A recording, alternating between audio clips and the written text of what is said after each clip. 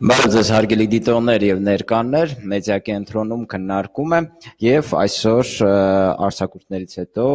առաջի քննարկման շրջանակներում մենք կանրադառնանք Երևանի ավականու գործունեությանը, սա այդ անդրադարձի առաջին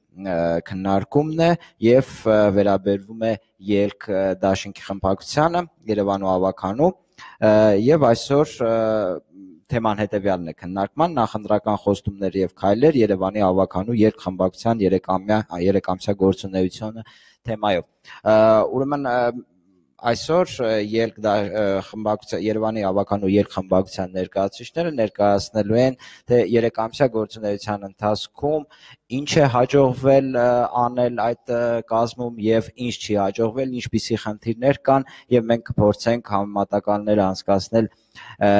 ելք դաշինքի նախընտրական ծրագրի հետ եւ համատել նրանց գործունեությունը, թե որքանով է համապատասխանում, որքանով են շեղվել ծրագրից եւ այլն։ Եվ այսօրվա մեր քննարկման բանախոսներն են Արայիկ Հարությունյան, Երևանի ավականու երկխմբակցության անդամ, Դավիթ Խաժակյան, Երևանի ավականու երկխմբակցության անդամ եւ Սերգեյ Ղարամանյան, Երևանի ավականու երկխմբակցության անդամ։ Բարև ձեզ։ Անդրադառնանք ելք խմբակցության գործունեությանը երևի ամենաաղմկոտ, հա, նախաձեռնություններից սկսենք, դա առաջինը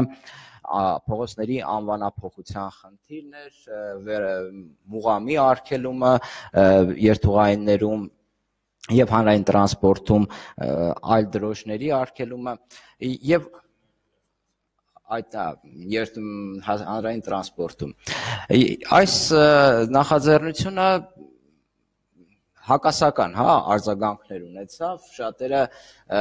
գոհունակությամբ ընդունեցին, սակայն շատերն էլ մեղադրեցին ելքդաշինքին պոպուլիզմի ոչ էական խնդիրներով զբաղվելու, նույնիսկ եղան հա մեղադրանքներ ուշադրություն շեղելու գլոբալ խնդիրներից։ Երևի սկսենք հենց այդ թեմայի քննարկումից։ Ինչու երկդաշինքը հանդես եկավ նման առաջարկություններով, այլ ոչ թե ասենք այնպիսի առաջարկություններով, որոնք որակական նյութական բարեփոխում կիրականացներ Երևանցիների կյանքում։ Խնդրեմ, պարոն Հարությունյան։ Շնորհակալություն հրավերի համար, շատ ուրախալի է, որ Երևանի ավականուն գործունեությանը վերջապես սկսեցին ուշադրություն դարձնել այդ թվում նաև ԶԼՄ-ները եւ ես կարծում եմ որ դա կապված է նաև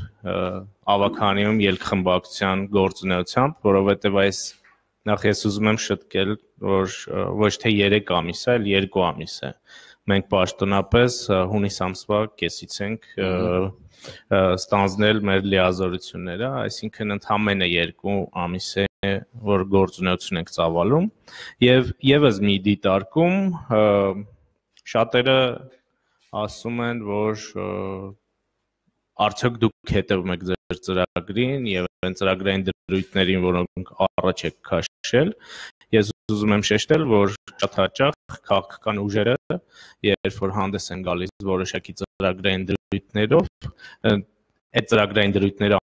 ամբողջությամբ իրականություն են դառնում եւ իրականություն կդառնան, եթե տվյալ ուժը իշխանության գա։ Բայց նաեւ իր գործունեության ընթացքում իհարկե հավատարիմ եմ մնում սկզբունքները, որոնք կարճ է քաշել եւ պարտադիր չի, որ բոլոր կետեր իրականացնեն, որովհետեւ դրա համար պետք են լիազորություններ եւ լծակներ, որը այս պահին ելքմբակցությունը չունի։ Հիմա կապված այդպես աղմկահարց նախաձեռնությունների հետ Նախ ես ուզում եմ այստեղ ձեր ուշադրությունը հրավիրել են հանգամանքի վրա, որ լուրջ գլոբալ եւ համակարգային խնդիրները 1-2 ամսում լուծում չեն ստանում եւ ելք խմբակցությունից պահանջել, որպիսի այդ հարցերի այդ հարցերին լուծում տա իհարկե ուրախալի է որ ելք խմբակ նման սպասումներ կան, բայց պետք է նաև իրականությունից չկտրվել եւ նաև հաշվի առնել թե Երևանի ավականու անդամները եւ խմբակցությունները ինչ լիազորություններ ունեն։ Այս այս էլ անպայման պետք է հաշվի առնել։ Ինչ վերաբերում է նախ մեծ նախաձեռնություններին, հետո ավելի փոքր հարցերին, չնայած ես կարծում որ յուրաքանչյուր հարց տվյալ ոլորտում իր կարևորություն ունի եւ տվյալ ոլորտում մտնել փոխելու միտում ունի։ Պարոն Խաչակյանը հիմա կասի, քանի որ ինքը ավելի ակտիվ է ներգրաված այդ հարցում, մենք շատ ակտիվ մասնակցում ենք տրանսպորտի բարեփոխման քննարկումներին եւ այդ նախաձեռնությանը մանրամասներ պարոն Խաչակյանը կներկայացնի։ Շատ տարօրինակ է, որ քչերը ուշադրություն դարձրեցին այն հանգամանքի վրա, որ մենք կարմիր գծերի դեմ պայքարին շատ ակտիվ թանկացման հետ կապված հերախոսային վճարումների հերախոսային վճարումներ, որը հիմնականում հերախոսներով է իրականացվում, հա շատ ակտիվ ներգրաված ենք եւ նաեւ մեր գործունեության արդյունքում այդ թանկացումը տեղի ունեցավ կամ 2 դրամով ընդհանրապես 50 դրամի փոխարեն տեղի ունեցավ։ Սա ձեռքբերում է, ես կարծում եմ ձեռքբերում ընդ որում խմբակցության ակտիվ գործունեության արդյունքում։ Սրան չէ հարցնում։ Ինչ վերաբերում է մյուս նախաձեռնություններին եւ լուծումների քննադատությանը շատ հաճախ ես այստեղ որոշակի միտումներ եմ տեսնում եւ աղավաղումներ եմ տեսնում։ Օրինակ նույն մուղամի անճաշակ երաշտության եւ կլկլոցի հետ կապված այդ մի խմբի բուրընց ասումը, թե դուք սահմանափակում եք մտցնում ես ոլորտում, ինչը բնորոշ էր տոտալիտար համակարգերին։ Դրանք փաստաթղթերը չեն կարդում։ Այն փաստաթուղթը, որ ես հրապարակել եմ, վերաբերում է կոնկրետ վերնիսաժին, եւ կոնկրետ վերնիսաժում հնչող երաշտությանը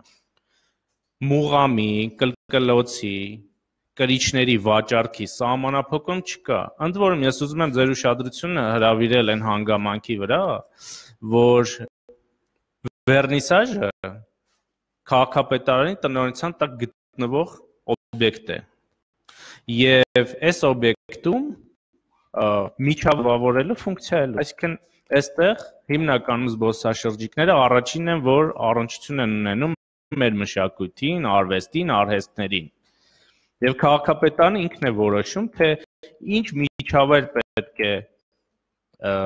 ձևավորի այդտեղ, որպես առնչությունը անմիջական լինի։ Եթե իմ հիմնավորումը տեսել եք, ես ասել եմ, որ այդ ոճի երաշտությունը այդ մարդկանց տեղափոխում է միանգամայն այլ տարածաշրջանների միջավայր։ Եվ սահմանափակում բացառապես վերաբերում էր տվյալ կրիչների վաճառքով զբաղվող օբյեկտներից հնչող երաժշտությանը, այլ ոչ թե սահմանափակումների։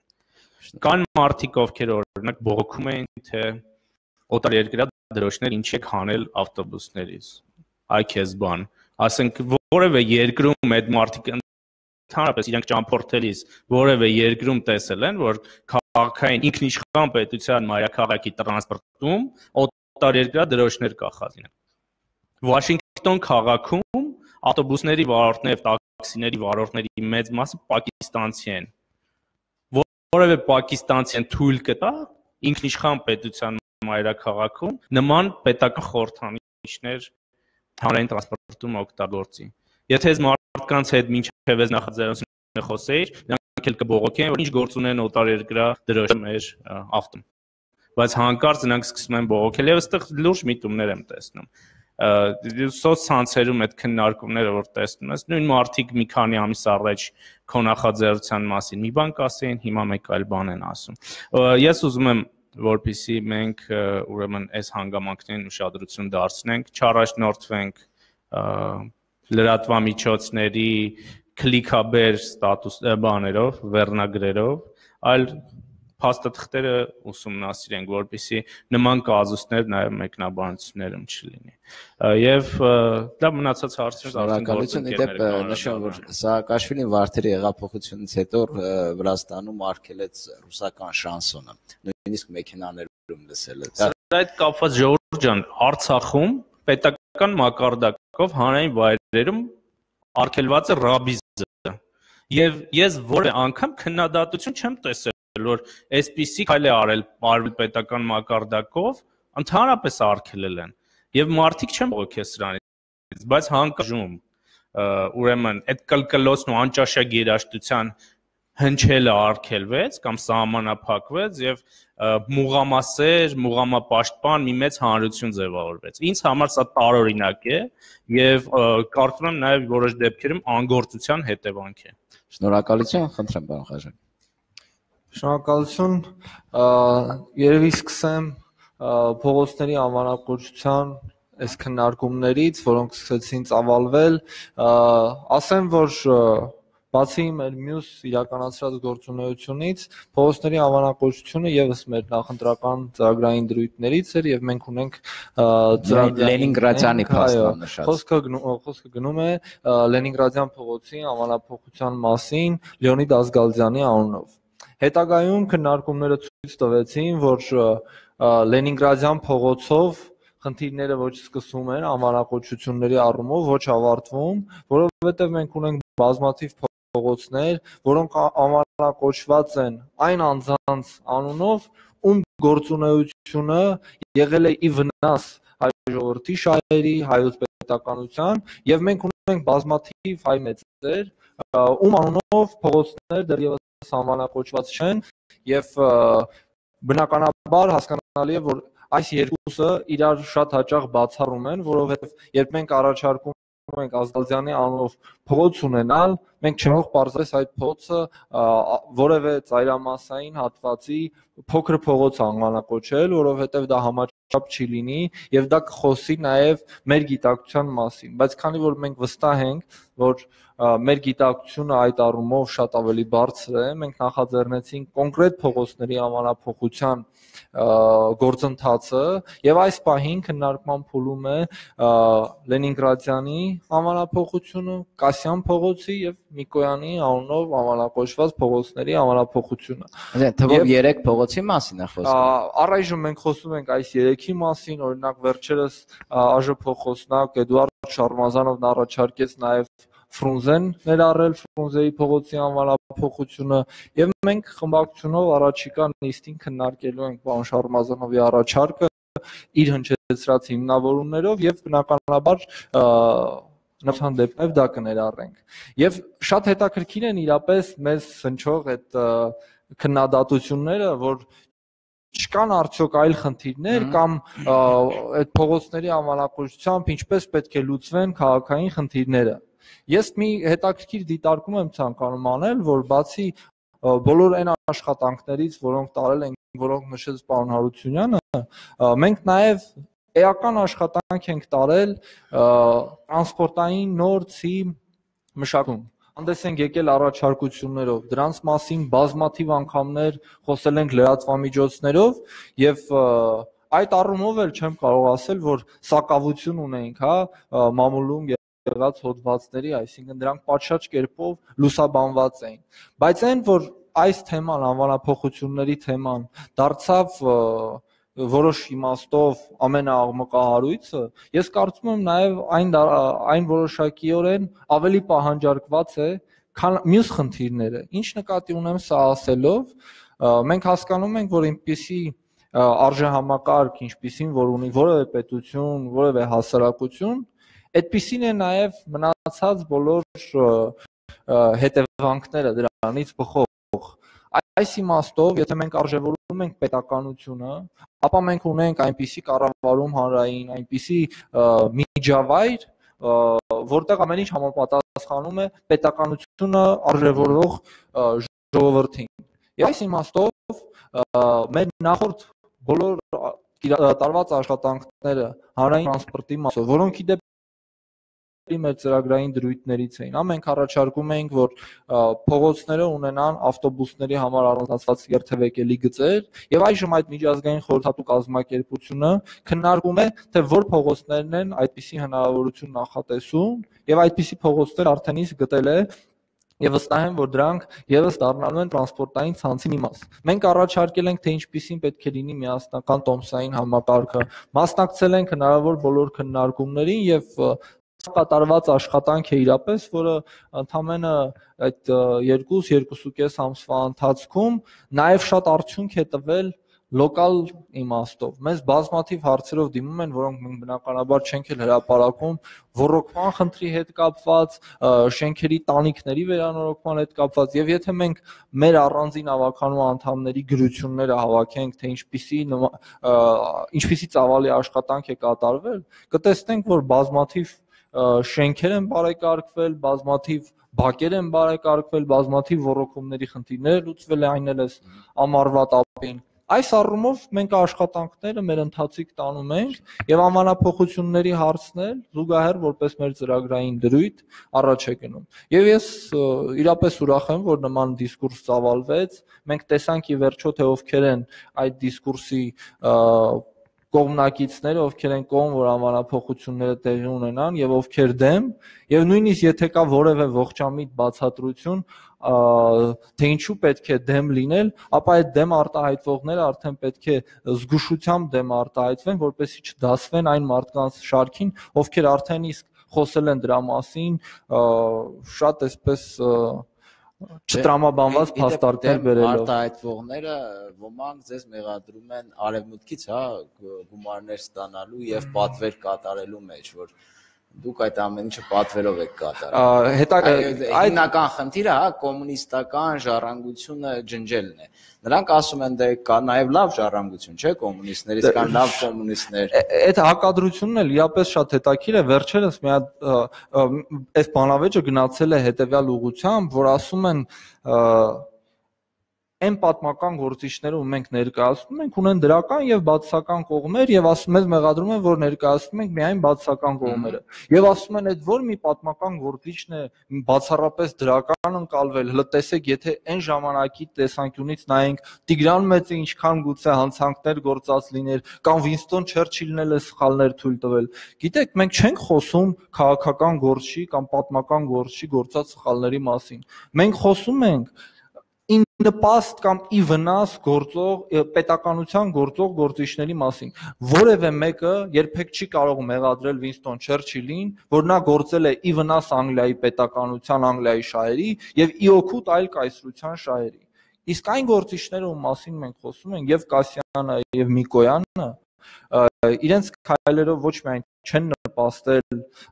այ ժողովրդի շահերին, հա, այսպես եմ արտահայտվում, որովհետև պետականությունը նաև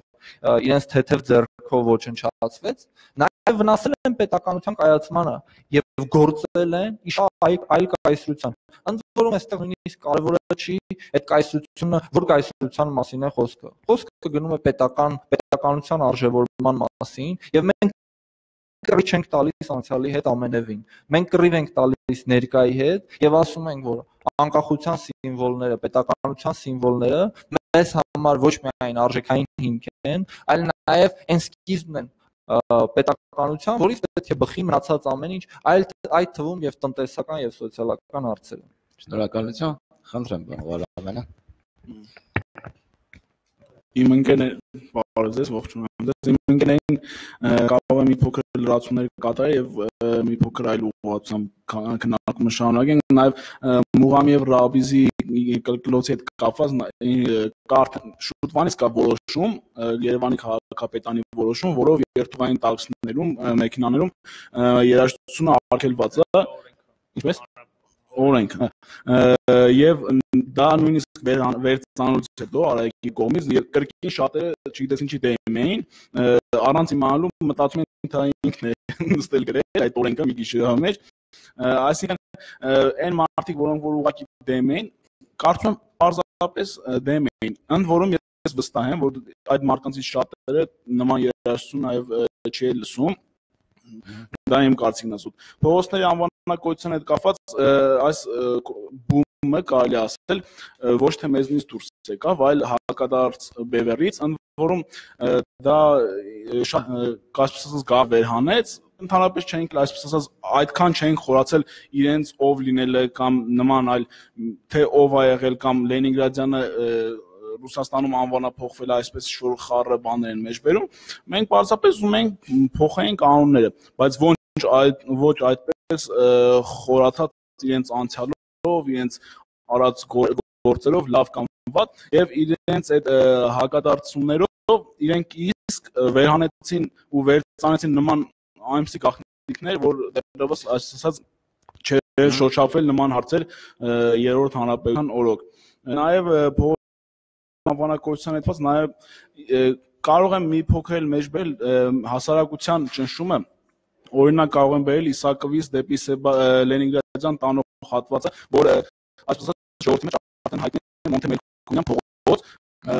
որը եթե հիշում եք փողոցը նոր բացվել, այնտեղ ցուցանակար Մոնտեմելքունյան փողոց, բայց շատ կար ժամանակ անց այդ ուսանողը միանգամից համբերեց քաղաքապետանը մի քանի տարի առաջ մեջբերը որ Մոնտե Մելքոնյանի ապահովը պետք է լինի կարևոր նշանակության կենտրոնական պոստներից որևէ մեկը։ Եթե այսօր վերցնենք որ կենտրոնական պոստներից որևէ մեկը պետք է անվանակոչվի, դա կամ մասնակցի պողոտանա կամ բարոյական պողոտանա կամ սահատնովան։ Բնականաբար երբեք նրանք չկոմ չեն լինի նման անվանակոչության անվանափոխության։ Այսինքն բայց ներկայումս երբ թե ասում են ասացիոն Մոնտե Մելքոնյան պողոտ, դա պատկասում են վերադարձ։ Այսինքն կրկին անգամ այդ մշակույթը հասարակության կոմիտունությունների այդ գաղափարական ուղղվածությունը կարող է նման, որ նրան որ փողոցը թեկուզ եւ նման ըմբռնումով մոտենա, բնականաբար այդ հարցում արդեն Եթե նաև քաղաքականության քաղաքական ուժ էլ դրան սատարի, բնականաբար այդ հարցը լուծում կստանա, որովհետև նաև գիտեմ Լենինգրադյան փողոցում մի շենք կա, ինչ որ տարիքով մարդիկ, որոնք որոնք դեմ են, ասում են մեզ մեզ պետքա որ այս Լենինգրադ նման մոտեցումներ կա, իսկ առած գործերից կարող եմ իհարկե մի փոքր երկար ներկայացնել կարմիր գծերը, որի հետ կապված կարծում եմ նման բում չեղավ չգիտես ինչի բոլորը այսպես ասած եւ ուզում էին որ չթանկանա բայց չեն ուզում որ այդ հարցը ելքի սատարումով այդ հարցը ելքի օկտին գրանցվի այո ուզում են ինչ-որ չեզոք ուժ sense գա այդ 49-ը դրան որ ավելացել ասենց մի անգամից վերացնի բայց չիմանան ով է որպեսի այսպես ասած մի փոքր նախանց կա օրինակ քննադատությունների հետ կապված հենց այդ շատերը նշում են որ այսպես սարկազմով, հա, հանրապետականները Տարոն Մարկարյանը մեծ հաճույքով ընթառաջում է այն խնդիրների լուծմանը, որոնք ոչ էական են, հա, այդպես իշխանություն կիսելու հա։ առումով կամ ինչ որ որակական փոփոխությունների առումով։ Նա ես մոտավորապես քանի որ նաև հանդասանում են Վաուտինգեր հասարակական կազմակերպության հիմնադիրներից մեկը, մոտ երևի թե տարի ու կես 1.5 տարի, այսպես ասած համագործակցում ենք ոստիկանության ճանապարհային ոստիկանության հետ նայած թե այդ համագործակցությունը ինչպես կընկալվի բնականաբար մենք հակադարձում ենք իրենց իսկ որոշումներին բայց այդ հակադարձումները ի վերջո բերում են ինչ որ համագործակցության որը դրական լուծում է ստանում ի նպաստ քաղաքացու ընդ որում նաև կարող եմ շեշտել որ խնդիրները, որոնք մենք այսօր ունենք, եւ մենք ենք գիտակցում եւ իրանք են գիտակցում, սակայն չգիտես ինչ առումով իրենց մոտ այդ ցանկությունը չկա։ Երբ այդ առաջարկությունը տեղի ունենում, իրենք ինչ որ միանգամից բնականաբար չեն արձագանքում, անցնում է ինչ որ ժամանակ եւ ասում են, հա, ճիշտ էր։ Ու բնականաբար այդ հարցը լուծում է ստանում ըստեղ մի քանի այսպես ասած թաքնված ուժ ենթագիտակցական ուժեր կա, որոնք չեն ուզում որ այդ հարցը միանգամից լուծում ստանա, սակայն ինչ որ ժամանակի ընթացքում այդ հարցը բնականաբար լուծում է, որում որի հետևանքով շահում է միայն քաղաքացին։ Շնորհակալություն ան հետ կապված, հա, ես կարմիր գծերի հետ կապված մի դիտարկում անեմ, խնդրում եմ վերցրեք եւ նայեք տեսանյութերն էլ կա, թե քաղաքապետարանի պաշտոնյաները ինչպես էին հակադարձում կարմիր գծերի հետ կապված մեր հակափաստարկներին եւ ասում են եւ որ դա այդպես էլ պետք է մնա, համայնքը ճիշտ որոշում է կայացրել եւ որևէ տարբերակ չկա, որ այդ գները իջնեն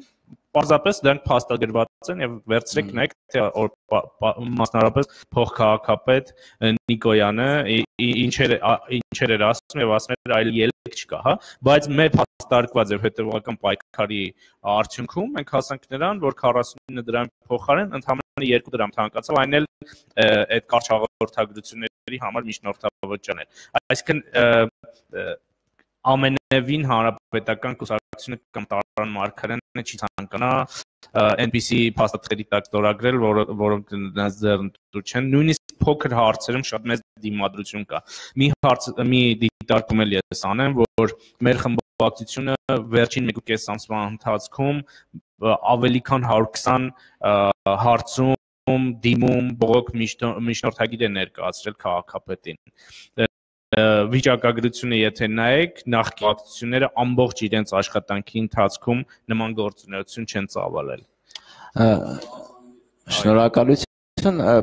որոշումների ընդունման վրա ձեր ազդեցությունը ինչպես կգնահատեիք, որովհետև կարծիք կա, որ երբ մի, ասենք, հանրապետական կուսակցություն տվյալ դեպքում ունի բացարձակ մեծամասնություն եւ կարող է յուրաքանչյուր որոշում անցկացնել եւ արկելափակել այն որոշումները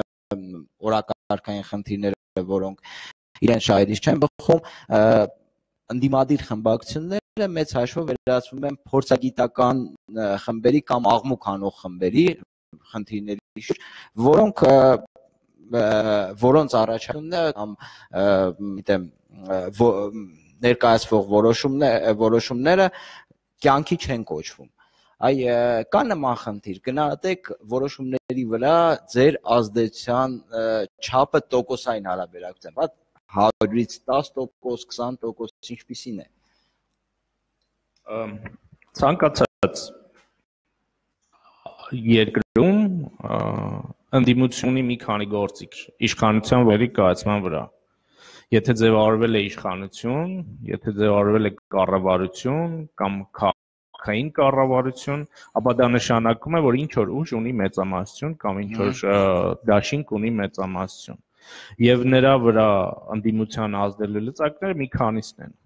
Հիմա նորից վերադառնում եմ կարմիր գծերին։ Ինչու սա ստացվեց։ Որովհետեւ մենք ունեինք անդիմադիր ֆրակցիայի հանրության եւ լրատվամիջոցների աշխատանքի այսպես մի սիմբիոզ, որը իր արդյունքը տվեց։ Մեր մասնավոր դեպքերում մենք նման հաջողություններ եւս հասնում ենք, երբ որ լրատվամիջոցի հետ աշխատելով, տեղի բնակիչների հետ աշխատելով եւ ավականո արդյունավետ աշխատանքի արդյունքում տեղեր մոնքը լուծումներ են լինում։ Եթե դու ճունես հանրային աջակցությունը տվյալ հարցում եւ 4-րդ իշխանությունը արդյունավետ չի աշխատում, բնականաբար քուսները ազդելու որոշումների կայացման վրա քչանում են բայց ես կարծում եմ, որ եթե մենք այս համակարգը աշխատեցնենք եւ այս սիմբիոզը լինի մնացած բոլոր հարցերում, ապա մենք հա, հաջողության կհասնենք։ Այսինքն հանրային լուրջ ճնշումը այս առումով, այն հարցերն, որոնք մենք բարձրացնում ենք, նույնպես կարեւոր է, որպեսզի մենք հասնենք հաջողության ավականիում։ Հիմա կոնկրետ այս փողոցների վերանվանման հետ կապված նույնպես անհրաժեշտ է որպիսի հանրությունը եւ մտավորականությունը մասնավորապես այն հատվածը, որը կիսում է մեր գաղափարներն ու այն հա, արժե համակարգի կրողն է, որին մենք ուզում ենք հասնենք։ Եթե լինի ուրեմն լուրջ ճնշում եւ ակտիվություն, ապա մենք այս հարցում էլ հաջողության կհասնենք փոքր խմբակցությունը կամ ընդդիմությունը իհարկե քիչ լծակներ ունի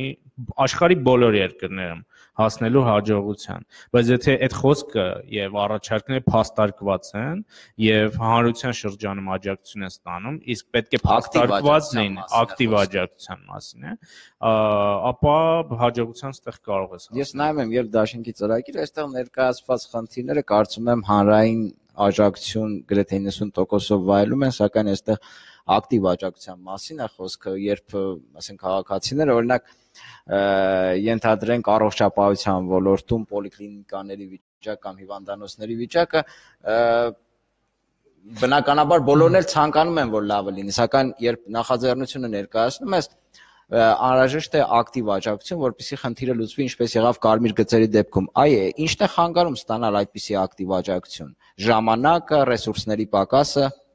նախ պոլիկլինիկաների մասով ասեմ, որ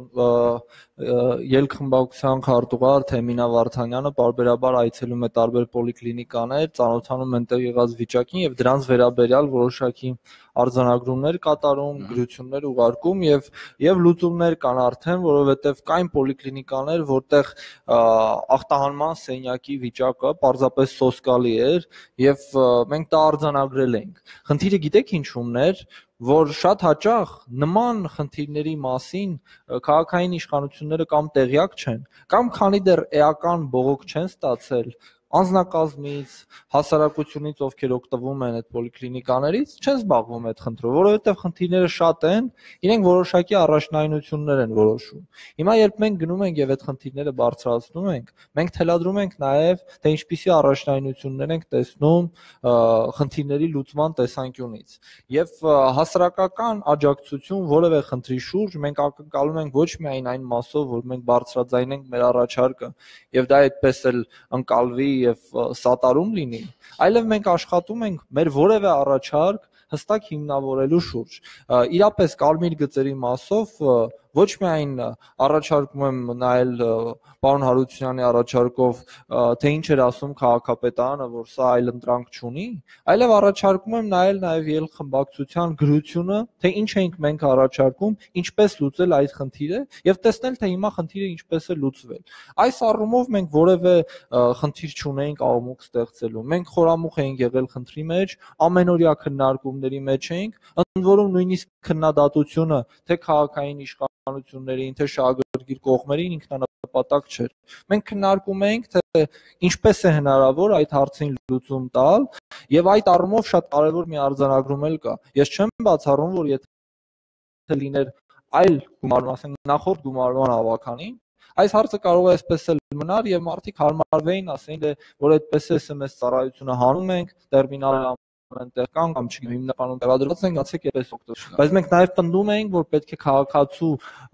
օկտին ծառայող որևէ բան մնա եւ պահպանվի եւ լինի մատչեր շնորհակալություն հարց կա Նիկ ջան ես մի մի դիտարկում էլ անեմ բոլոր ուղություններով խմբակցություն աշխատանք է տանում առանց բացառության աղմուկ աղբահանություն, ճանապարհներ, մուտքեր, համատիրություններ, այսինքն բոլ առողջապահություն, դպրոցներ, ես դպրոցներով եմ շատ ակտիվ զբաղվում, որովհետև կրթության հանձնաժողովը ես եմ նախագահում մասնավոր դպրոցներ բազմաթիվ այցեր եմ ունեցել, որpիսի նաև այդ մասնավոր դպրոցների դրական փորձը բերենք մեր դպրոցներ։ Մենք նախաձեռնելու ենք ուրեմն հաջողված դպրոցների տնօրենների ոչ պաշտոնական խորհուրդ ստեղծել, որը իր ռեկոմենդացիաները, առաջարկները կանի այս ոլորտում բարեփոխումներ անելու համար։ Այսինքն բոլոր ուղություններով աշխատանք է տարվում։ Բացի այդ, այս երկու ամսվա ընթացքում մենք վերհանել ենք բազմաթիվ խնդիրներ, որոնք կապված են օրենսդրության հետ։ Եվ մենք պատրաստվում ենք ազգային ժողովը մեր խմբակցության միջոցով օրենսդրական նախաձեռնություններով հանդես գանք մասնարարպես աղմուկի հետ կապված, որpիսի շատ խստացումներ այստեղ լինեն եւ տասնյակ հազար մարդիկ առանց չափազանցության, տասնյակ հազար մարդիկ այսօր խնդիր ունեն աղմուկի հետ զվարճանքի կենտրոններից եկող աղմուկի հետ, որը անմիջական ազդում է նրանց առողջության վրա։ Այս ուղղությամբ էլ ակտիվ աշխատանք։ Շնորհակալություն։ Խնդրեմ։ Նարինեիրիցյան ամեկ պլյուս մի քանի հարց ունեմ ես։ Առաջին հարցը վերաբերում է կոնկրետ Դավիթ Խաչակյանի նշած միասնական այդ տրանսպորտային սակագնին, ինչ հաջողություն է կոնկրետ նրա քննարկվել եւ նաեւ ձեր ծրագրային դրույթներից էր նաեւ մետրոյի կայանների այդ ստեղծումը ինչ այս առումով ինչ է արվել կա առաջընթաց մնացած հարցերը ընթաց Շնորհակալություն հարցի համար։ Սկսեմ տրանսպորտային նոր միասնական համակարգի վճարումների տարբերակին։ Խորհրդատու կազմակերպությունը մի քանի տարբերակ է առաջարկել, թե ինչպես է հնարավոր, ինչպիսի գանձման միջոցով է հնարավոր վճարել տրանսպորտի հանրային տրանսպորտի հարցը։ Նախ ասեմ, թե ինչու է հարցը ակտուալ եւ ինչու նախքին այս 100 դրամների տրամաբանությունը չի կարող պահպանվել, որովհետեւ նոր ցանցը իրենից ներկայացնում է ավելի օպտիմալ համակարգ, բոլոր տրանսպորտային հոսքերը փոխկապակցված են եւ այսուհետ տրանսպորտով երթևեկելը ենթադրելու է մեկից ավել տեղ փոխերի կատարում մեկ կամ մեկից ավել, այսինքն նպատակակետին հասնելու համար որևէ վարչական շրջանից մյուս վարչական շրջան հասնելու համար հնարավոր է որ դուք անհրաժեշտություն ունենաք երկու տրանսպորտ փոխելու։ Այս առումով մենք կարևորում ենք այն հանգամանքը, որ երկու տրանսպորտի փոփոխությունը քաղաքացու վրա չարժենա երկու առանձին գծերի երթևեկություն։ Նկատի ունեմ, որ եթե նախկինում Շենգավիթ վարչական շրջանից հնարավոր էր հասնել ավան 100 դրամ վճարելով, ապա միայն այն հանգամանքը, որ կենտրոնով մենք տեղփոխ ենք կատարելու, այսինքն գնալու ենք կենտրոն, ապա այնտեղից նոր ավան վարչական շրջան, դա միայն չի նշանակում, որ մենք պետք է կրկնակի վճարենք։ Դրա համար առաջանում է այս գանձման մեխանիզմի խնդիրը։ Միջազգային խորհրդատու կազմակերպությունը առաջարկել է կիրառել գոտիավորման սկզբունք, այսինքն գոտիավորել քաղաքը եւ գոտիներ փոխելու փոխելը տարբեր վարձավճարներ սահմանել, առաջարկել է գնահատել ըստ կիլոմետրերի, ըստ ժամանակի, այսինքն առաջարկել է ըստ էության այն ինչ որ կա ամբողջ աշխարհով մեկ Բայց քանի որ մեր մենք ունենք որոշակի սպეციფიկ խնդիրներ, եւ խցանումները, եւ քաղաքի որոշակի կոմպակտ լինելը, մենք առաջարկել ենք ունենալ ֆիքսված սակագնով տոմսային համակարգ, սակայն որը հնարավորություն կընձեռի քաղաքացուն տեղփոխի տեղփոխ իրականացնել։ Երբ դուք նստեք ձեր առաջին երթուղայինը եւ կատարեք այդ վճարումը, պայմանականորեն ասած 100 դրամը, ապա տեղ փոխի ժամանակ այդ տոմսը շարունակում է գործել եւ համարում ենք, որ դուք գնում եք ընդամենը մեկ ուղեգից եւ դրա համար վճարում եք մեկ ֆիքսված տոմսի դիմաց։ Սա այն առաջարկն է եղել մեր, որը մենք ներկայացրել ենք թե քաղաքապետարանին, թե խորհրդատու կազմակերպությանը եւ առաջիկայում լինելու են աշխատանքային խմբի քննարկումներ, որտեղ մեր այս բարձրացած հարցը, մեր առաջարկը պետք է քննարկվի նոր ցանցը այո իրենից ենթադրում է ոչ միայն օպտիմալ համակարգ, որը պետք է ծածկի ամբողջ քաղաքը, շուրջ 3 անգամ կրճատվում է, կրճատվելու են ուղևորագծերը։ Մենք հիմա գիտենք, որ ունենք բազմաթիվ գծեր, որոնք կրկնում են միմյանց, դառնում մրցակցությունների պատճառ, նաև այն պատճառով, որ դրանք առանձին եւ մասնավոր գծեր են, իսկ միասնական նոր ցանցը ենթադրելու է մեկ միասնական օպերատոր եւ մենք սրան շատ ուշադիր ենք լինելու։ Եթե լինեն քննարկումներ, որ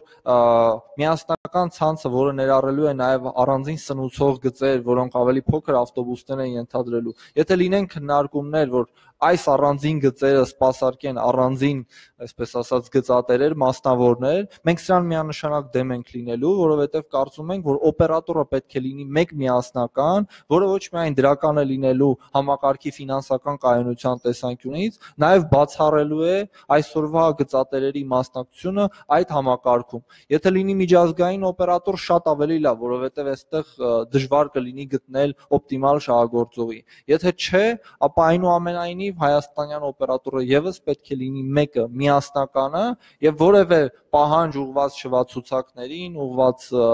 տրանսպորտի որակին պետք է լինի ուղված այդ մեկ միասնական օպերատորին։ Ինչ վերաբերում է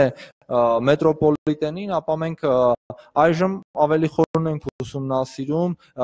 արկա վիճակը Աչափնյակի մետրոպոլիտենի շուրջ, որպեսզի հասկանանք, թե ինչ աշխատանքներ են մնացել։ Քարոզ Արշավից առաջ քաղաքապետի տեխնացու այժմ ելք խմբակցության նախագահ ազգային ժողովի խմբակցության ղեկավար պարոն Փաշինյանը ուսումնասիրել էր ուսումնասիրել էր այդ խնդիրը։ Մենք տնագրել ենք, որ թունելները դեպի Աչափնյակի այդ կիրճը եւ կիրճից այն կողմ ըստ էության պատրաստ է։ Ինչ է մնում, ինչքան ներդրում է մնում, մենք կարծում ենք, որ պետք է սրա վրա կենտրոնանալ։ Դա ցավոք այն հարցերից է, որ մենք որպես ընդդիմադիր խմբակցություն կարող ենք միայն լոբինգ անել,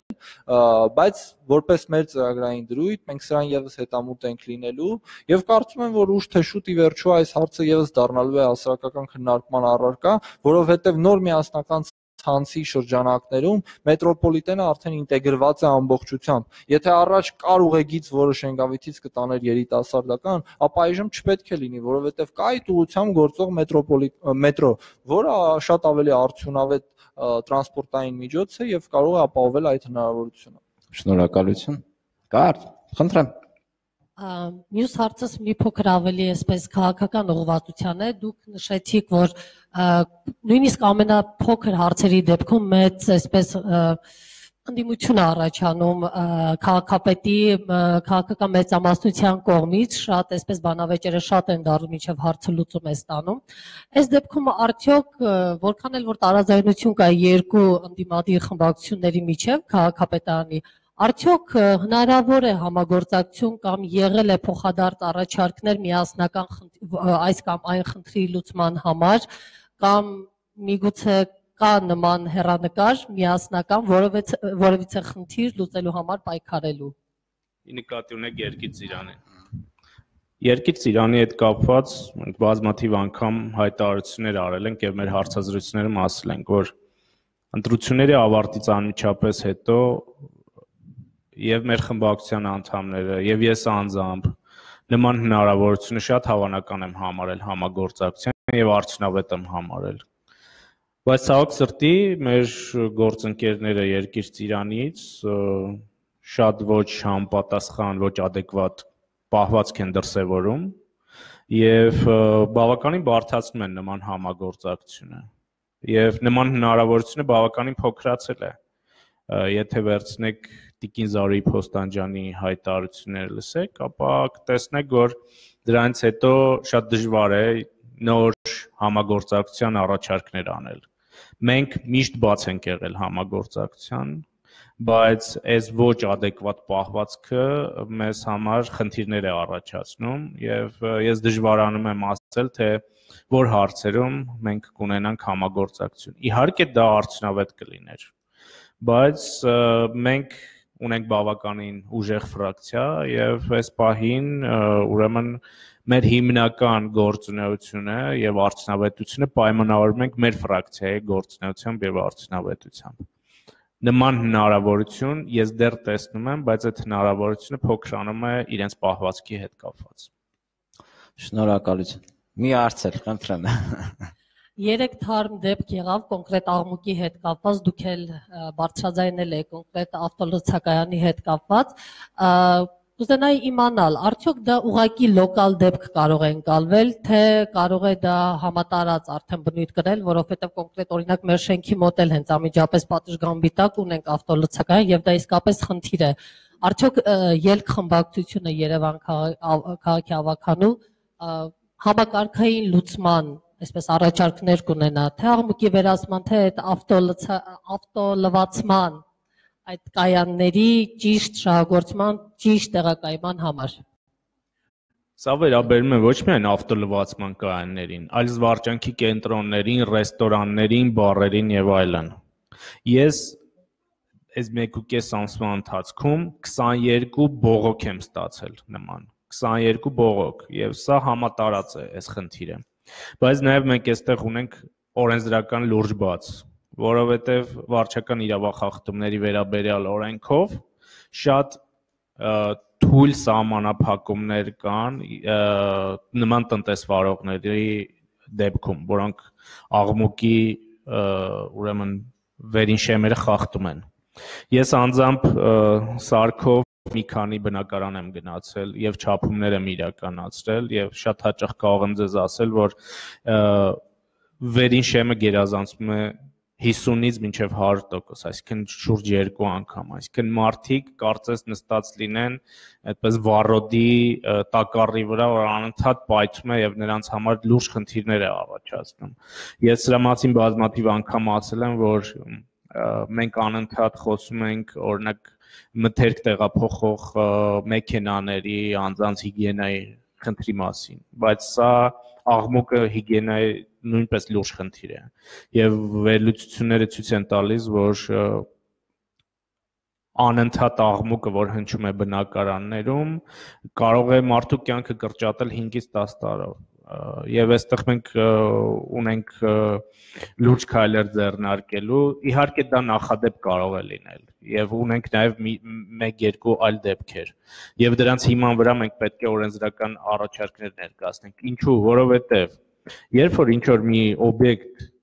աղմուկ է պայմանական ես դա ասում եմ արտադրում, հա, առաջին անգամ նրանք պարզապես գնում են զգուշացնում են Երկրորդ անգամ նրանք տուգանում են ընդամենը 40000 դրամով։ Եվ այստեղ շատ հստակ չէ թե երրորդ անգամ խախտելու դեպքում արդյոք դու կարող ես նրան լիցենզիայից զրկել թե ոչ։ Ընդ որում կա սահմանափակում ստուգումների։ Ընդ որում սահմանափակումները իրականացվում են տվյալ տնտեսվարողի գիտությամբ։ Այսինքն դու զանգում ես իրեն ասում ես ես գալու եմ ստուգումներ, չափումներ անել աբսուրդի է վերածում, որովհետև տվյալ տնտեսվարողը կվերցնի ու կսահմանափակի տվյալ ժամվա համար արտադրվող աղմուկը։ Եվ մենք խմբակցության հետ կարգում ունենք եւ մեր ԱԺ խմբակցության հետ եւ այս հարցնել նույնպես կքննարկենք, որpիսի համալիր խնդիրը լուծում ստանա, որpիսի մենք ամեն օր չստանանք բողոքներ եւ այդ չափիչով չվազենք այնտեղ լրագրողներին հրավիրենք, այդ հարցը բարձրաձայնենք քաղաքապետարանի կողմից, քաղաքապետի կողմից եղել են հայտարարություններ, որ զվարճակի կենտրոնները պետք է դուրս բերվեն բնակելի շենքերից բայց առայժմ սրա հետ կապված կոնկրետ գործողություններ չկան։ Մենք մեր կողմից պատրաստ ենք դրան աջակցել, բայց առայժմ քաղաքային իշխանության կողմից այսպես դրական քայլեր դուրսությամբ չեն տեսնել։ Իմ բոլոր դիմումները ուղարկում են քաղաքապետարան, ոստիկանություն, ոստիկանությունից դա քաղաքապետարան էլի կապված օրենսդրական բացի հետո չկա մի օղակ, որ կոնկրետ որոշում կայացնի։ Տվյալ օբյեկտին պատժելու եւ տվյալ օբյեկտի սահմանափակելու համար։ Շնորհակալություն։ Մենք ամփոփենք, ավելացնենք ավելացնենք որպեսզի նաև ուշադրություն կենտրոնացնենք այն նախագծերի օրենսդրական, որոնք վերաբերում են Երևանում դիմորդենքին, նախագծում դեռևս չընդգրկված որոնք առաջիկա պետք է քննարկվի նախատեսված փոփոխություն Երևանի դիմորդենքում եւ տարբեր բազմաթիվ փոփոխություններից զատ կամ այսպիսի դրույթ, որը սահմանափակվելու է Երևանի ավականուն խմբակցությունների իրավունքը հանրակրվեների հանրակրվեներ նախաձեռնելու համար։ Այժմ մենք որպես խմբակցություն հնարավորություն ունենք նախաձեռնել օրակարգ ներառվել որևէ քաղաքային հարցի շուրջ հանրակրվե նոր նախագծով, որը պետք է ազգային ժողովը քննարկի, փորձ է արվում սահմանափակել այդ իրավունքը բերել մեծամասնության դաշտ, որպեսզի դա հնարավոր լինի իրականացնել 1/3-ով եւ խմբակցությունները ստեղծության զրկվում են այդ հնարավորությունից։ Մենք քննարկում ունենալու ենք մեր ազգային ժողովի ֆրակցիայի հետ այս հարցը բարձրացնելու ենք եւ պետք է ամեն ինչ անենք, որ ավականու լիազորությունները ոչ միայն չնվազեն եւ չսահմանափակվեն, այլ ընդհանրակարգը այն լիազորությունները, որոնք հաճախ վերապահվում են ավականու եւ վերջո ավականու նիստերը ամսական մեկ անգամից ավելի շատ լինեն, որը վստահաբար կբարձրացնի եւ որոշումների արդյունավետությունը եւ նաեւ կբարձրացնի համայնքի ավականու դերը։ Շնորհակալություն ագետ բանախոսներ այսքան ավարտենք կարծում եմ թե բավականին ընդգրկուն է եւ մեկ 40 րոպե ընթացքում հնարավոր չէ այդ ամեն ինչին անդառնալ մենք բարբերաբար բանկնարկումներ կունենանք որոշակի հաջողականությամբ բարձրացնելու համար ինչպես են աշխատում մեզ նույնպես հատկապես հանրապետականներին, հա։ Այսքան հիշեցնեմ, որ մենք Երևանի ավականու երկրորդ անդամների հետ այսօր անդրադառնում ենք նրանց կատարած աշխատանքներին եւ քննարկման խորագիրը նախնդրական խոստումներ եւ քայլեր Երևանի ավականու երկրորդ երկամսյան գործունեության ինչպես բան հարցության նշեց դեռ 3 չկա որովհետեւ հունիսի կեսից է մտել ազրությունները ուժի մեջ այսքան